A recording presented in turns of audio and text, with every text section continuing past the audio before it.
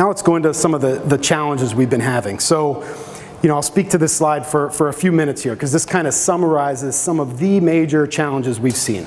So I'll go through them one by one. So starting in the upper left, the rapid mix shift. You know, this started when, when COVID first happened. All the bars and restaurants shut down. And what happened was very similar to probably what happened in a lot of your industries.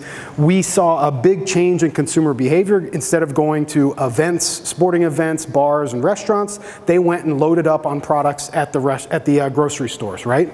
And so this caused a big shift out of bottles and kegs into cans. And so last year, the story of the year was can shortages, and the industry could not keep up with aluminum can demand. And uh, this year, it's pivoted, and when things reopen, there was two factors that happened.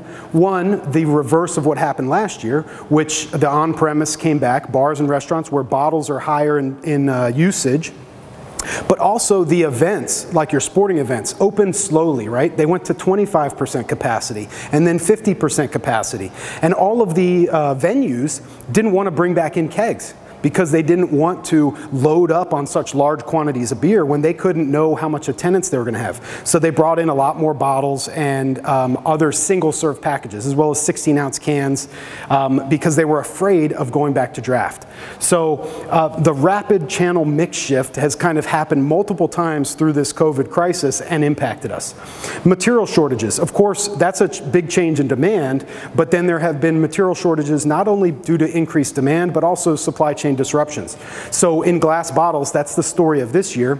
The demand went higher, there was a major uh, shutdown of a big glass plant in Texas when the polar vortex hit, right? Every other glass plant that was prepared for the cold weather didn't have an issue. But in Texas, we all know they weren't as prepared and a lot of negative impacts there. And a glass plant went down for a week, disrupting glass supply in the US. Then, uh, you know, this little picture of the, the computer here the largest glass supplier in the world, had a cyber attack and their logistics systems were taken over in a ransomware attack. And for probably close to a month, the largest glass supplier in the world did not have good visibility into their inventory and also could not move. They had one of our biggest impacts was this one glass plant in Indiana that has a fully automated warehouse. And the ransomware attack took control of their AGVs and their um, WMS system, and they couldn't move product or know what inventory they had on hand. So we had major visibility problems with our glass suppliers as well as just a shortage in the industry. So if you go to grocery stores now, you might see that other glass products are um, you know, struggling to keep up in the market out there because there's a general glass shortage now. OTR freight market tightness, man, if you haven't heard of this and you're in the logistics world, then you're probably living under a rock or something. We ship about 2,000 trucks a day of beer. Uh, that's about 50% on our dedicated fleets and 50% on the OTR market. And so the tightness in just general domestic transportation has been very impactful to us.